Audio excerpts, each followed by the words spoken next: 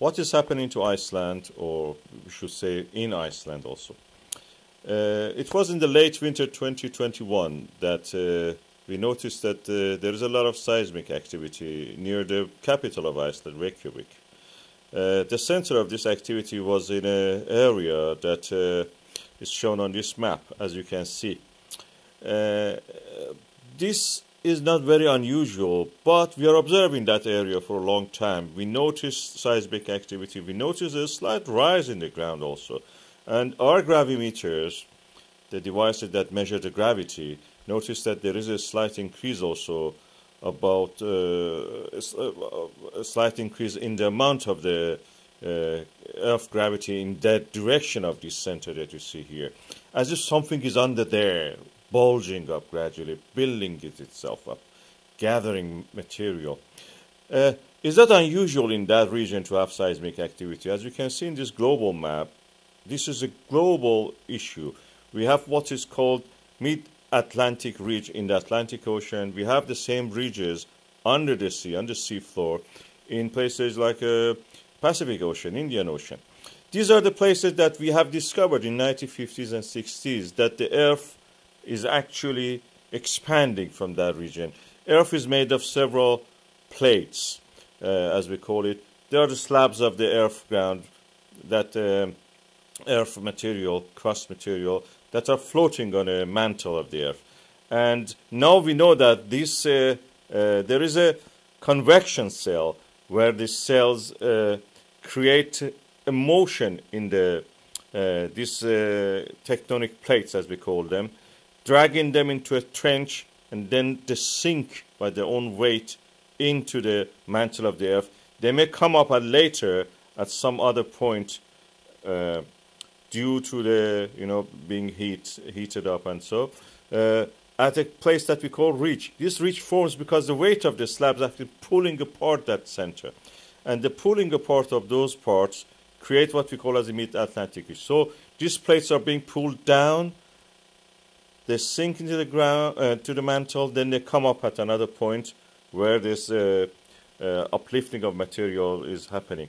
They almost touch the core of the earth, these slabs, when they reach the deeper mantle.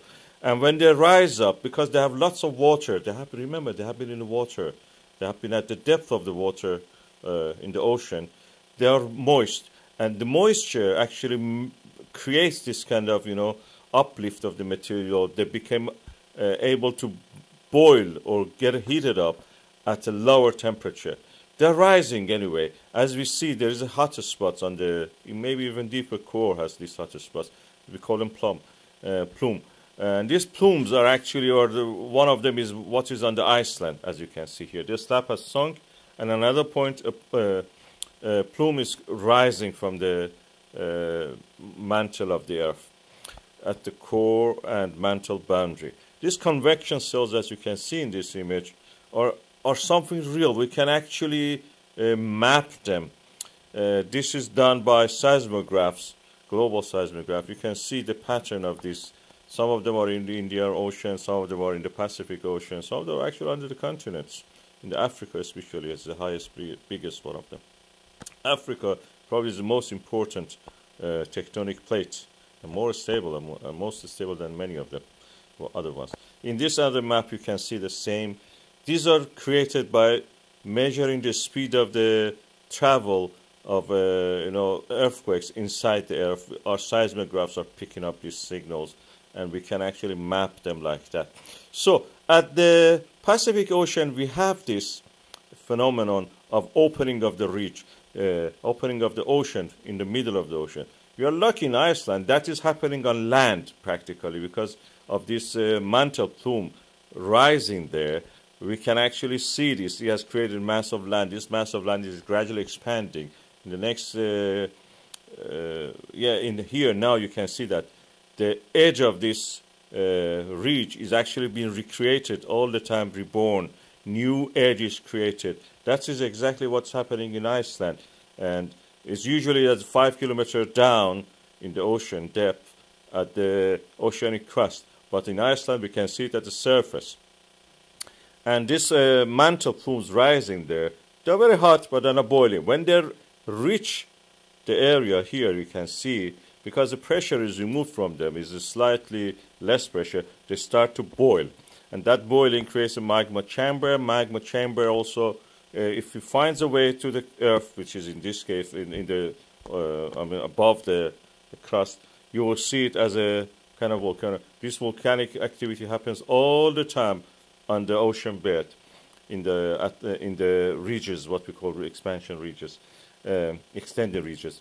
Uh, but in Iceland, this happens on land, and uh, there are evidence that uh, in Iceland we can actually go and see these things, the expansion ridges.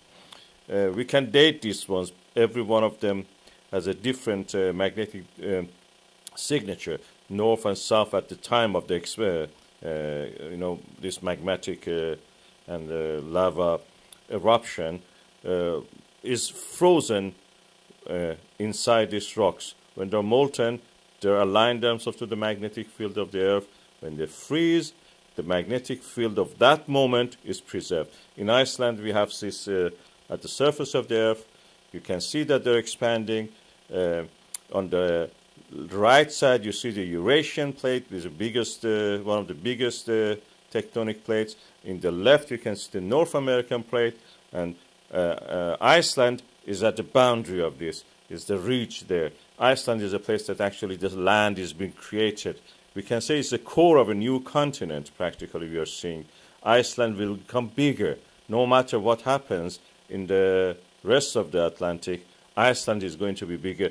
The land building is happening in front of our eyes in the form of this uh, volcanic activity, recent volcanic activity. You see how it expands, covers uh, newer areas, adding to the land mass.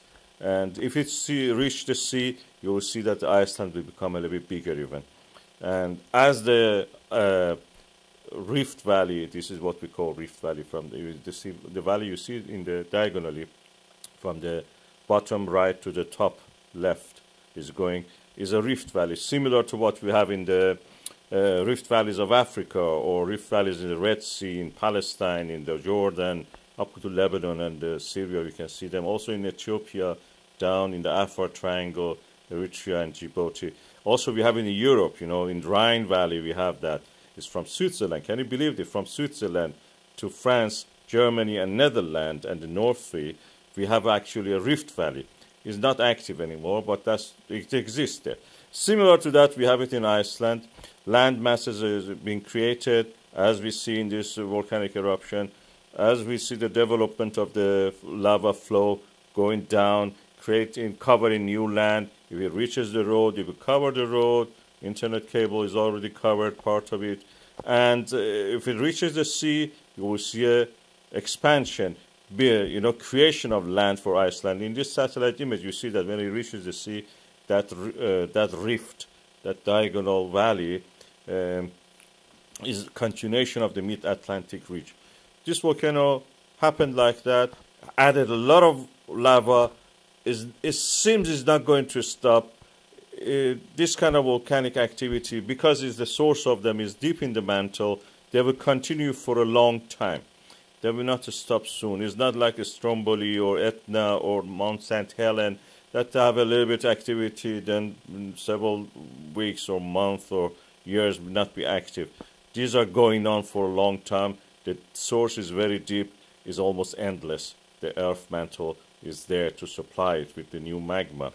So this flood of the lava will continue and will eventually uh, reach the sea, reach the ocean, the flow of lava will cover a vast area. That valley will be covered, in, uh, and it may even this one, this fissure, this opening crater be closed.